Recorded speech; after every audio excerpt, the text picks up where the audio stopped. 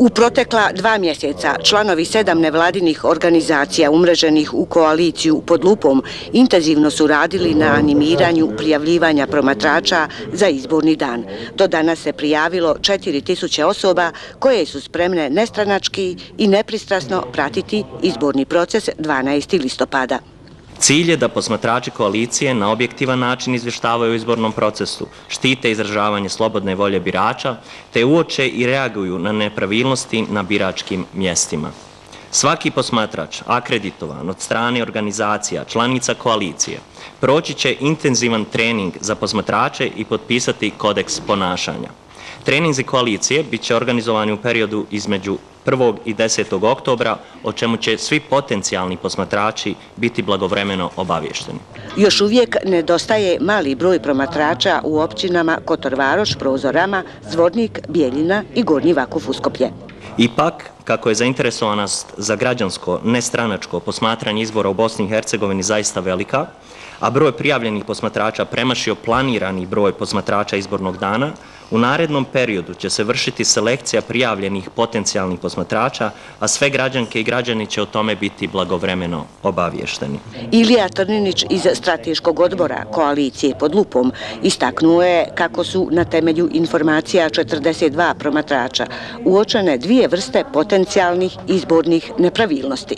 Želimo da kažemo da je u ovom vremenu prije izbora Prva vrsta je promocija političkih subjekata i prije zvaničnog početka predizborne kampanje, a znamo da predizborna kampanja zvanično počinje sutra, 12. septembra, te raspolažemo se informacijama da se trguje mjestima u biračkim odborima širom Bosne i Hercegovine.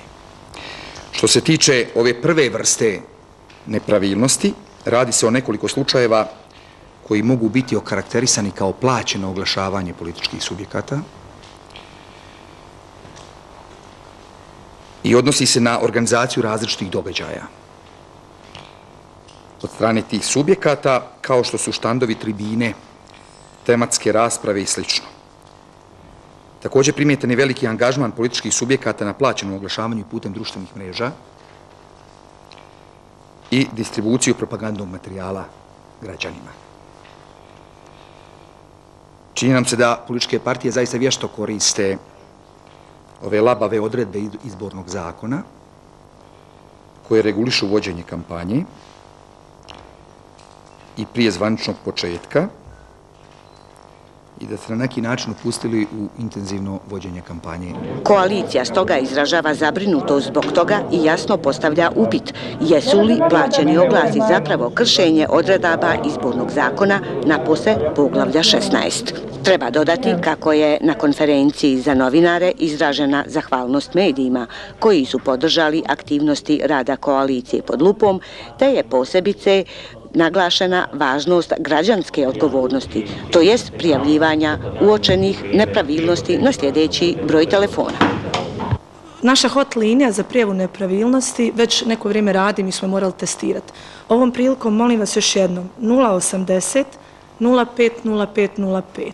Svi građani i građanke koji nas gledaju putem vaših medija ili čitaju ili slušaju, molimo vas da prijavite nepravilnosti. U sedam regionalnih ureda skoro 30 ljudi je angažovano da bilježi nepravilnosti koje će se poslije, naravno ako su utemeljene, dostaviti nadležnim organima na dalju istragu.